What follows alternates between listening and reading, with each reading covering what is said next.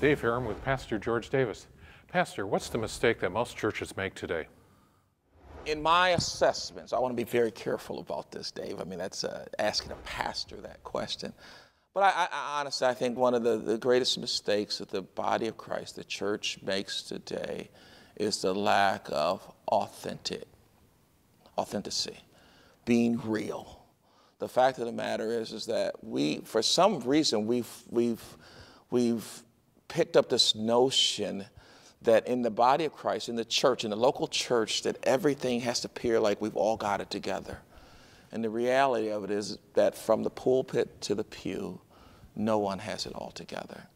So, therefore, the power of our witness, the power of our ability to empathize, the power of our ability to attract others who may be hurting, who are in need, we lose that.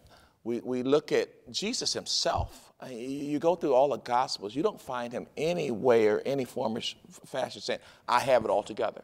He was able to, to get down, if you would, or to reach anybody at any level because he was able to empathize. Well, it's very difficult to do that if you, if you want to uh, have the appearance that you have it all together. That, that this is the perfect church, that we're, we're all living this out. When the reality of it is, nobody is living it all out.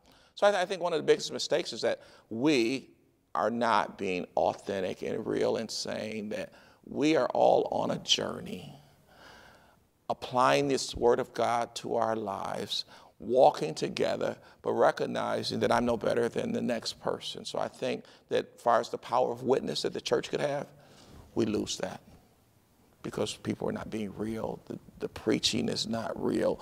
Uh, the singing's not real uh, we're not dealing with the deeper issues in our lives to understand that maybe we should deal with the deeper issues in our life before we offer our gifts to God. So being authentic.